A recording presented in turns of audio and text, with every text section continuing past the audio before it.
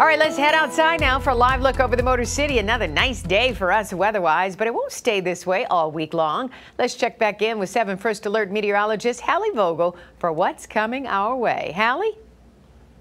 All right, Carolyn, a lot of us like a little break from the heat. Some of us saying, yeah, a little cool today. So we are going to warm up a little more tomorrow. Humidity still in check. Friday, warm still, but more humid. That'll bring the chance for showers and storms on Friday. And that could come in two waves in the morning and then again in the afternoon. So Friday's the day we're going to be keeping an eye on. 74 degrees in Ann Arbor, in Ann Arbor. Beautiful sunshine right now. Can't beat that. 76 degrees downtown, 72 in Pontiac, and Howell, you're at 74. So very comfortable for the late afternoon and evening. And can't even really track any cloud cover when you look at our regional satellite and radar composite, thanks to high pressure, keeping us nice and dry dry today and tomorrow. So little change, really. The only difference is, again, we're going to be a bit warmer tomorrow. So when we start to look at our temperatures for the evening, once the sun sets, our temperatures will drop into the 60s. And then eventually we'll see those temperatures actually in the 50s for overnight lows again. So it's going to be another cool but comfortable night on tap.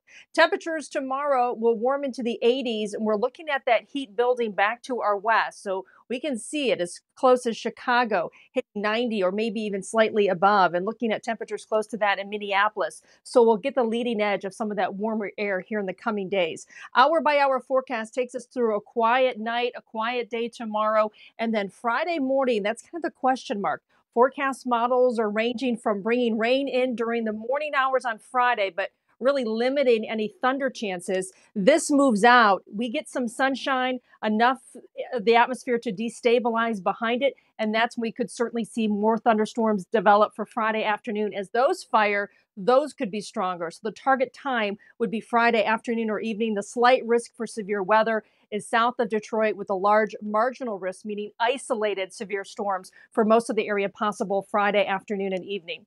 84 the high tomorrow, 85 on Friday. We're warming up. We'll be watching those storm chances. Saturday looks good. We're looking comfortable, low humidity. I'll be back with your Father's Day forecast coming up. Stay with us. More 7 Action News ahead.